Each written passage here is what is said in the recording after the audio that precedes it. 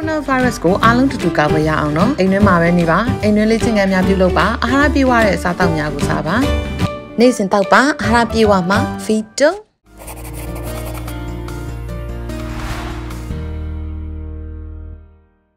7 TV ရဲ့ပရိသတ်များအားလုံးပဲမင်္ဂလာပါရှင်နေ့စဉ်တင်ဆက်ပေးနေကြဖြစ်တဲ့ Facebook တခွင်ကဏ္ဍကနေပြီးတော့ပြန်လည်ကြိုဆိုလိုက်ပါရစေဒီကဏ္ဍကတော့လက်တလောလူမှုကွန်ရက်စာမျက်နှာပေါ်မှာရေပန်းစားနေတဲ့အကြောင်းအရာတွေကိုပရိသတ်တွေအတွက်တဆင့်ပြန်လည်ပြီးတော့တင်ဆက်ပေးနေရပါဒီကနေ့ပထမဆုံးအကြောင်းအရာအနေနဲ့ကတော့ Fortune Plaza Happy COVID Center ကချစ်စရာကောင်းတဲ့အစီအစဉ်လေးတစ်ခုအကြောင်းကိုပြောပြပေးချင်ပါတယ်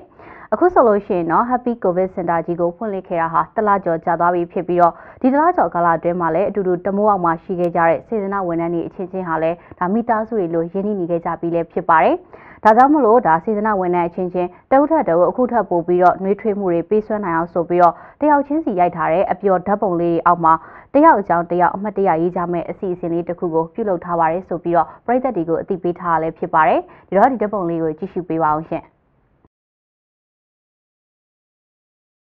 အခုဆက်လက်ပြီးတော့2020ရွေးကောက်ပွဲအတွင်းမဲယုံဒီမှာတက်တက်ကြွကြွနဲ့တာဝန်ထမ်းဆောင်ခဲ့ကြတဲ့သူတွေကိုနိုင်ငံတော်ရဲ့အတိုင်ပင်ခံပုဂ္ဂိုလ်ဒေါအောင်ဆန်းစုကြည်ရဲ့နာမည်ပါတဲ့ရင်တို့တစ်ခုနဲ့ငကတ်တစ်ခုလက်ဆောင်ပေးသွားမယ့်အစီအစဉ်လေးအကြောင်းကိုပြောပြပေးချင်ပါတယ်။ဒီအကြောင်းကိုဆိုလို့ရှိရင်တော့မောင်မောင်အေးရဲ့အကောင့်ကနေပြီးတော့အခုလိုလေးအသိပေးထားတာပါ။ပထမအဆုံးအနေနဲ့တနိုင်ငံလုံးကမဲဆန္ဒနယ်ပေါင်း315နေရာကိုစည်ရင်းနဲ့တကွရေးချပြီးတော့မဲလိကလေးတွေလုပ်ပါမယ်။ live လွှင့်ရင်းနဲ့မဲဆန္ဒနယ်2နေရာကိုအရင်ဆုံးနှိုက်ပါမယ်။ပေါ်ထွက်လာတဲ့မဲဆန္ဒနယ်တစ်ခုမှာမဲယုံပေါင်းက100ကျော်ရှိပါတယ်။အဲ့ဒီမဲယုံတွေကိုထပ်ပြီးစည်ရင်းရေးချပြီးမှ live မဲထပ်နိုင်ပါမယ်။နောက်ဆုံးပေါ်ထွက်လာတဲ့မဲယုံမှာမှလာရောက်လိုအားပေးတဲ့သူတွေကိုစုံစမ်းပြီးတော့မဲယုံတယုံစီကကန်ထူးရှင်တယောက်စီအတွက်ရွှေရင်တို့တစ်ခုနဲ့ရွှေနဂတ်တစ်ခုလက်ဆောင်ပေးသွားမှာပဲဖြစ်ပါတယ်။မနက်ဖြန်နေ့လယ်မှာတော့မဲဆန္ဒနဲ့315နေရာကနေပြီးတော့နှစ်နေရာကိုစတင်ပြီးတော့ရွေးချယ်သွားပါမယ်။ဝိုင်းပြီးတော့အကြံပေးကြတဲ့သူတယောက်ချင်းစီတိုင်းကိုလည်းကျေးဇူးအထူးတင်ပါတယ်ဆိုပြီးတော့ဒီအစီအစဉ်လေးကိုအသိပေးထားရလဲဖြစ်ပါတယ်။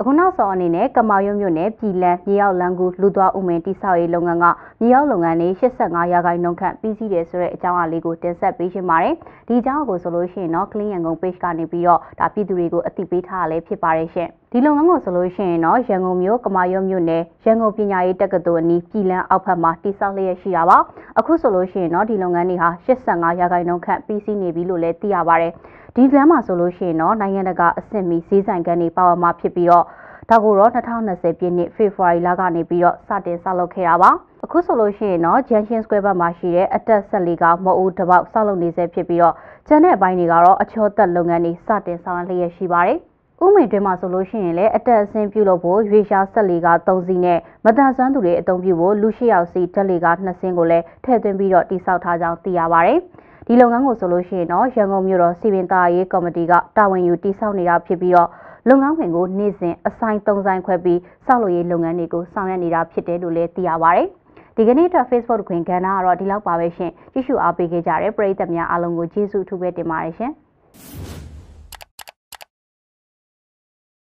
ကိုရိုနာဗိုင်းရပ်စ်ကိုအားလုံးတူတူကာကွယ်ရအောင်နော်အိမ်ထဲမှာပဲနေပါအိမ်တွင်းလေးချင်ငယ်များပြုလုပ်ပါအာဟာရပြည့်ဝတဲ့အစားအသောက်များကိုစားပါနေ့စဉ်တောက်ပါအာဟာရပြည့်ဝမှာဖီတို